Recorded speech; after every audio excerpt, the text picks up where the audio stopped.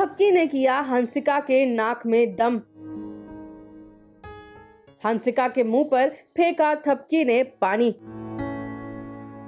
आखिर कैसे जा गिरी थपकी पूरब की बाहों में क्या है पूरा माजरा? चलिए आपको बताते हैं। कल कलर्स टीवी के पॉपुलर सीरियल थपकी प्यार की टू में हंसिका और पूरब के कमरे पर कर लिया है थपकी ने आधा कब्जा। हंसिका और थपकी आते हैं आमने सामने, जहाँ हंसिका बिना पूरब के ही थपकी के सामने बचे हुए चार पेरे कंप्लीट कर लेती है। रात में सोते वक्त थपकी कर देती है हंसिका को परेशान, क्योंकि वो बेड का आधे से ज़्यादा हिस्सा ऑक्यूपाई कर लेती हैं।